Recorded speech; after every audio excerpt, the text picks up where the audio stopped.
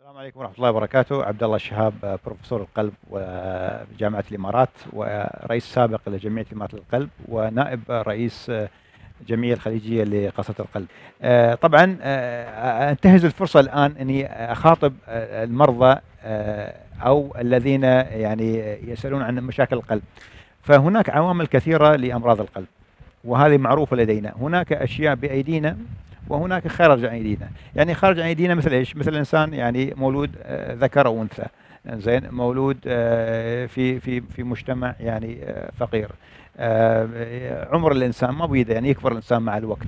يختار اختيار الأب والأم هذا مو بيده ولكن في هناك عوامل تؤثر على القلب موجودة ومكتسبة منها الضغط.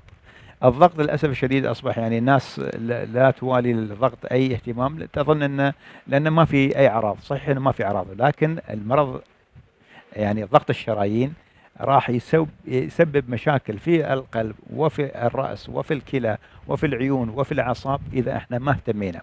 فلا بد يكون للمريض يعني يهتم في يبتعد عن عوامل تؤثر تعمل مشاكل القلب منها موضوع الضغط النفسي.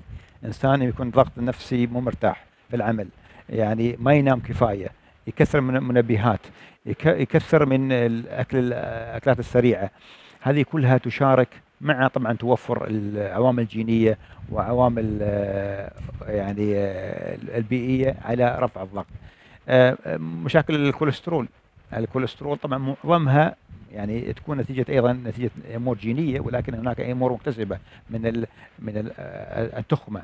الأكل الغير صحي الأكل السريع عدم عمل رياضة. يعني أنا أتعجب كثير من أطبائنا حتى. يعني إحنا كأطباء نكون قدوة لمرضانا أن نستخدم يعني الأسانسير بدل نستخدم الدرج.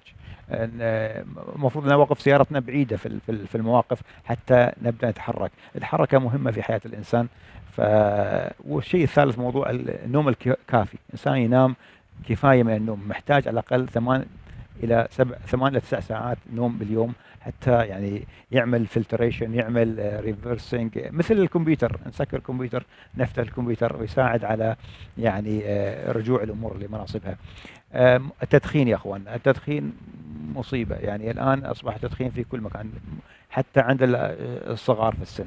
فالتدخين إذا أنا أدخن أحاول أدخن بعيد عن عيالي حتى ما يأخذوني كقدوة يعني فنحب ننوه أن موضوع التدخين حتى في صغار السن يسبب جلطات في في الشرايين والقلب. طبعا موضوع السكر وموضوع السمنة، موضوع عدم أكل صحي والخضروات والفواكه هذه أيضا مهمة. فهذه بصفة سريعة أن العوامل تسبب أمراض القلب حبيت أنوه لها وأتمنى لكم حياة سعيدة وصحية ومع السلامة.